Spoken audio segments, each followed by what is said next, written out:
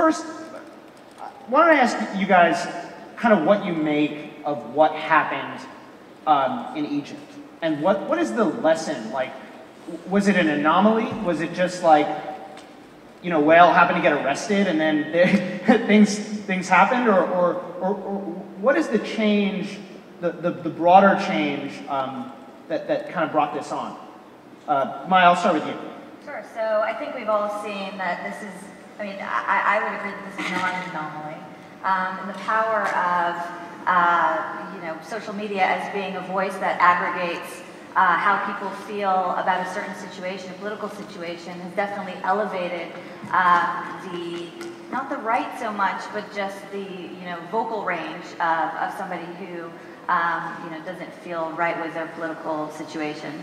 What we've seen at ABC News is that we actually um, were able to uh, use that as a tool in our own uh, sourcing of news. Um, and, and, you know, the more we actually uh, the more that the more that it is used, the more that tools like Twitter are used, the more that that social access tools are used, um, the more that pads out our own coverage. So we look at it as a way of looking at a story from a 360 angle. Whereas you know before um, we had to actually go after trying to find uh, you know sources for stories. We're now finding that a lot of that is uh, if, if you're looking in the right place, you can definitely get a lot of that coverage. Joe, what do you what do you think? I mean, is do you believe, you know, Wael's book is called Revolution 2.0. Kind of the pre premise is that, yeah, that, that social media sort of changed the way politics works. And obviously you're trying to do that kind of in your own way. And I, am curious, do you buy that premise or, or, to what extent is that, is that true? So I, I, think that the fundamentals of political organizing have remained unchanged for like the history of time. Moses was an organizer, Jesus was an organizer, Allah was an organizer.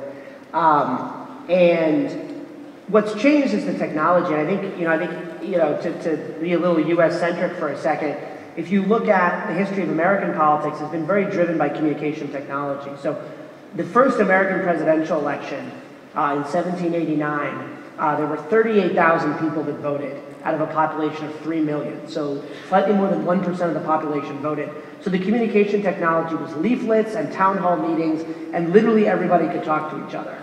And then you enter the era of broadcast, where many historians would argue that Franklin Delano Roosevelt never could have done the New Deal without radio, because he had the opportunity to directly communicate. So what we see is that the fundamentals of organizing, which is about working through people's relationships and building movements, are unchanged. What technology does is it provides new ways to communicate, and it allows also allows the older ways to be more efficient, right? You you can get people together much more quickly for a rally, right? People marching in a square is a very, very old tactic. Assembling them with social media is much, much more efficient. So uh, my core takeaway from my involvement in Facebook and causes and NationBuilder is that it's all about these core social dynamics and they're lubricated and made more efficient by technology, but they're fundamentally, I think, the same. Yeah. So how important, Wael, was it that you could start this? So he started a Facebook group, the way the whole revolution, not, sorry, not the whole yes. revolution, but his story begins um, starting a Facebook group for a, a, young man who was beaten brutally and, and killed by uh, secret police. And you did that anonymously. And at some point, you sort of stepped forward and, and, stopped being anonymous.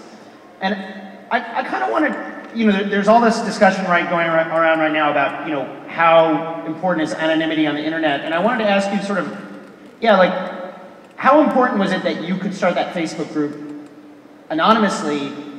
And, and then also, like, at what point do you have to stop being anonymous? Or how far does anonymity really need to go? So just, just as a clarification, I don't agree with those who say that this is a Facebook revolution. I, I think that this is a people's revolution and uh, it, it did start because of so many reasons, not just a call uh, or a call that happens to be on, on the internet that people uh, uh listen to or believed in. Um, I was, I was known as, uh, as, as, the, as the owner or the founder of the page uh, after I was arrested because at, before that, I made sure that no one knows.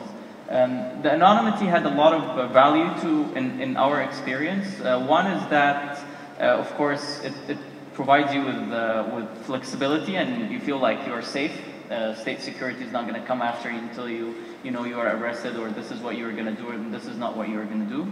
The second, which is the most important, is that anonymity provides people, a lot of people with belief that the guys behind this are not taking any credit.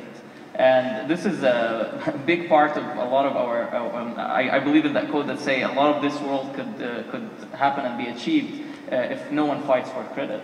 So uh, uh, that was a very interesting uh, thing that happened in, in our in our case. Um, I, I, don't know if it's anonymity has its good and bad, just like how we use technology in politics has its own good and and bad. But in our experience, in, in, in my experience, it was it was very essential. So, do, Joe, like when with your company, have you had to deal with these issues? I mean, are there time? I mean, I don't know. Have you had to deal with law enforcement or governments or, or whatever trying to I, I, don't know, intervene and expose users, or have you given that much thought, or is that, does that come into play yet? Uh, it's sort of something we think about. Um, we actually have had a few circumstances, but we can't talk about them. Yeah. Um, well, I mean, just broadly speaking, what's the general? Well, I think that you know what, what what gets interesting, right, is when democracy and legality come into conflict, um, where you know, our company is founded on the idea of, you know, small d democracy, that we can, our software can empower thousands and thousands of political leaders to get elected, not because they have more money, but because they do a better job of organizing people. Well, there are times when that is illegal. Um, and for us, you know, this core value of us is democracy, and ultimately that's kind of where we stand. Um, one of the things to, to, change, sorry, to change tacks slightly that's been very interesting to me, and we were talking about a little bit before, is the post-revolution. And, you know, I think, especially in the developed world, we often think of politicians and political consultants and political operatives as kind of slimy and unnecessary evil of democracy. But it's, you know, in a country that's never had democracy, you know, you, you've seen the Islamicists be really well organized. And you, once you have democracy, you then have to run campaigns. And so having the tools and having the expertise to actually organize people becomes absolutely critical. You're going from theoretical to reality. Hmm. So, right now in the U.S., Maya, I want to bring you in. You know, we have a presidential election, uh, and kind of the, there are sort of two things that a lot of people are talking about. You know, one, I would say to a lesser extent, is social media. The other is money, and basically unprecedented amounts of money being used to buy television ads, um, at times extremely nasty, slimy television ads. And I'm kind of curious, Maya, I'll start with you, but all you, is that the future? Or is that just kind of a weird blip that's happening and that, you know, eventually like, you know, we're just gonna all be, uh, like, you know, that the social media technologies will sort of catch up and this money and politics thing will just be some weird thing that happened in 2012? Uh, that's a really good question. Uh, I think mudslinging has, is, is an age-old political pastime. I actually just read a book um, that was written by Cicero about how to win an election. Uh, and uh, mudslinging was probably one of the one of the things that was brought up the most. Um, so I don't, I don't think that, I mean, I'm, I'm always hopeful to think that that, that that wouldn't always be the case, but in terms of um, the, you know, as, as Joe was saying, the communication tools um, will continue to evolve. So the more, the, the more access to information that users have, um, the, the less, perhaps less likely that an attack ad or, or it'll be a little bit more uh, contextualized with everything else that they can learn. And so um, about a particular candidate. So, well, I don't think that that's going to go away. I think empowering um, voters to learn as much about, about the political system and political candidates is, is really going to empower them. I think, you know, one important thing is to realize that the American presidential election is a huge anomaly in that, so I've had the really interesting experience of being in Canada and Australia and Ireland and the UK and seeing their political systems. The American political system is the only one with relatively unregulated campaign finance. Right here in Ireland and the UK, you can't buy TV ads, you can't buy radio ads, you know, the entire British political system, the UK, will spend about $20 million on a general election.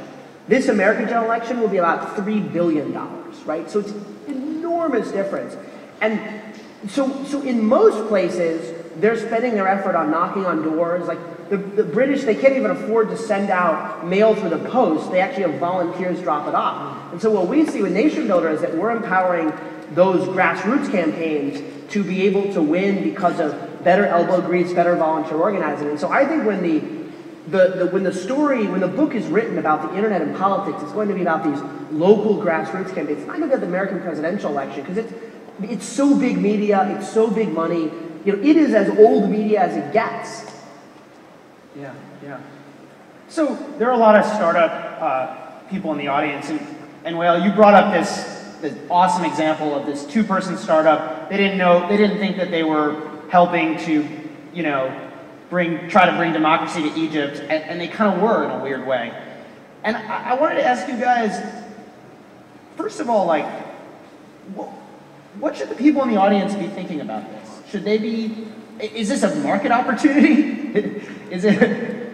Well, I think the best thing that happened in technology is empowering individuals, and uh, I believe that this is this is the fact. The, the, on the long term, this will have huge implications on, on politics because um, in the past, uh, the, the, the depth of social hierarchy was high between the political leaders and the public. Yet now the public can easily organize themselves, can decide on, uh, you know, reach out a conclusion and take an action uh, without having to do this over uh, um, a couple of months because there are 10,000 people that need to agree on this. This can easily happen in a survey in about a couple of days uh, and, and finalize. So this opens uh, a lot of ground for um, innovation. I believe also that technologists should not get in, uh, uh, in the process, should not have a say in what should happen and what should not. They should just provide them the means and the tools for the people and let the people manage it on, on their way. Um, uh, I have a very interesting example that is post-revolution uh, on the impact of, what, of how people can organize themselves. In, in uh, one of the Egyptian governorates, people were suffering from the trash problem, trash collection. So um, a lot of the young Facebook guys decided on creating an event where everyone is going to collect their trash and go to the governorate office and throw the trash right in front of his office.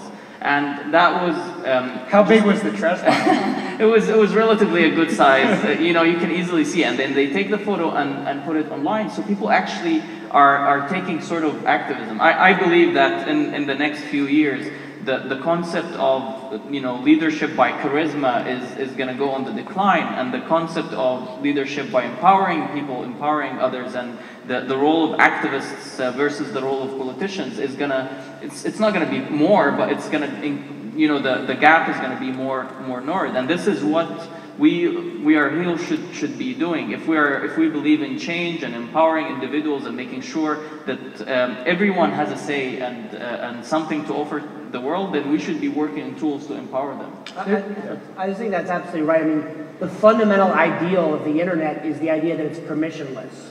Right? There's no central authority of the internet. The internet is by definition decentralized. You don't have to ask anyone's permission to set up a website. And I think that you know government in many ways is all about asking for permission. You got to ask permission of 50% plus one of people to get elected, and then you're in the legislature and you have to ask permission to get a bill through. And we're all we all act surprised when nothing gets done. And I think that what, what's possible is to let, just as Wael was saying, to let people self-organize, so they don't have to wait that permission. They don't have to wait for the government to clean up their trash. They can not only demonstrate that Exalco can clean it up themselves. So I, I, just wanted to jump in on the question of opportunity. Um, I think there's, especially for a news organization, um, there's plenty of opportunity if you're a startup looking to uh, help out in sourcing of news. Right now, what we're seeing is, you know, all this. Um, it, it's great that there's a ton of more content coming in. Um, but helping managing that uh, or create, we, we, work constantly and we're constantly experimenting. We're constantly working with third parties and lots of startups um, to you know ensure that we're being accurate, that we're um, that we're being scalable, and that we're being efficient about delivering the news. So if you're a startup in that space, now is, is a great time for for uh, for opportunity in that sphere. So I want to I want to ask you guys when this when this survey startup or or or maybe it's Google or maybe it's Facebook gets a call from the government saying, hey, can you take down that video? Can you, can you take down the survey? Whatever. I think we're all sort of in agreement that they should probably say no. Um, but uh, how, or should they say anything? I mean, wh- wh- what happens if the activists call and say, hey, would you mind promoting this uh, YouTube video? Like, how involved should a startup get, or a media company get, um, or a big tech company get in all this stuff that's happening? I mean, as, as a revolution is playing out, it's, it's not always clear, like, who's right and who's wrong. What, Yeah, there, are obviously different schools in, in, in this, and um, I, I, just like what Joe was saying, I remember this quote, I can't remember who said it, that uh, the best thing about the internet is that everyone is controlled because nobody is in control. So um, uh, I I believe that I'm, I come from this school, yet I do understand you, you cannot just, at the end of the day, the pace of technology is going much faster than how we develop as individuals. And, and, and that, re- you know, re- a lot of challenges in this world. Should you just uh, uh, allow everyone to be anonymous? Uh, on one hand, it protects their identity and let them say whatever they want. On the other hand, it could be pretty dangerous because people are going to be much more aggressive and then the, the level of aggression would drive the community or the country or you know the whole world in, in a negative direction. So there's there's no absolute right and wrong, and I think this kind of arguments are already existing in, in, in at the top level of many big companies. What should what is the level of influence? What should we get in and what sh- what we should not? yeah. Anything to, uh, to add there? We have a couple of sec, or Um, no, I actually agree with that. Okay, well that, okay, so we're out of time, so uh, just want to thank you guys for, for being here. Thank you for uh, listening, giving us an audience. Um, it's really a pleasure. Thank you. Thank you.